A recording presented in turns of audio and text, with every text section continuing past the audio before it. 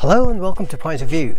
An unstoppable China conducted its 43rd orbital launch of the year in less than 24 hours after its 42nd orbital launch. China conducted another successful orbital launch today on November the 5th, 2021 Eastern Time.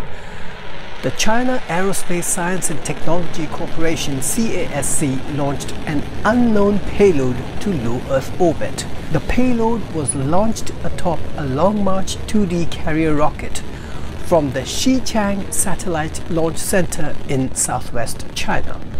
This was China's 43rd orbital launch of the year, surpassing the national target of 40 launches for 2021.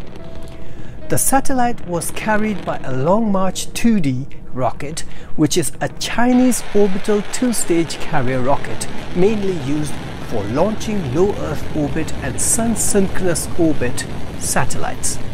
The Long March 2D carrier rocket is a two-stage version of the Long March 4 and is the smallest of all the active Long March rocket engines. The booster's first stage is 28 meter tall and uses four YF-21C engines.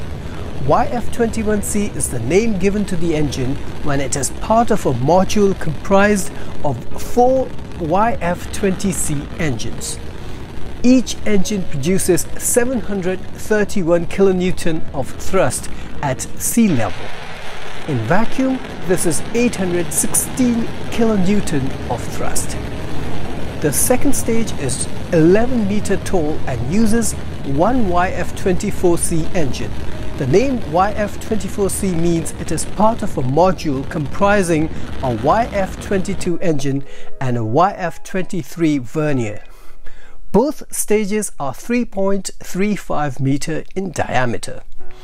The rocket's first flight was on August 9, 1992, and it has since had a near perfect launch history, with the only incident being a partial failure on December 28, 2016. That's it for this video. Thanks for watching, and I'll see you in the next one.